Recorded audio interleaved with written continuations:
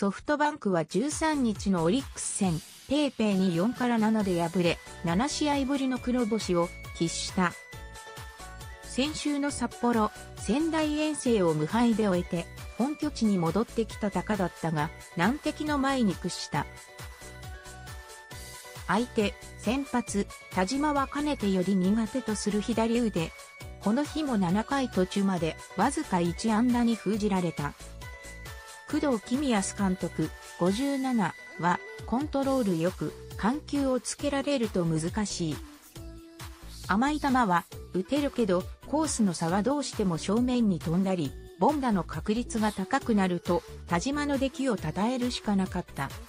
1から2の9回に5番手、田浦が捕まり、点差が開いたが、その裏に打線外事を見せて3得点。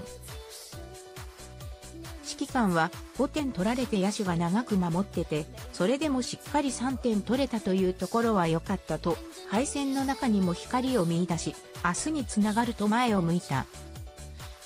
昨季は17勝5敗に分けとお得意様としたオリックス相手に今季はまだ1勝。全カードから3連敗と黒星が先行している。指揮官は苦笑いを浮かべつつ、全部勝てるわけじゃないんで、まだまだこれから。まだ20試合以上ある。こういう風になるゲームもあると思うが、辛抱強く粘り強くやっていきたいと気持ちを切り替えた。14日は前回対戦で13三振を喫して完封された山本との再戦。まずは明日いいゲームができるように、王者は意地を見せられるか。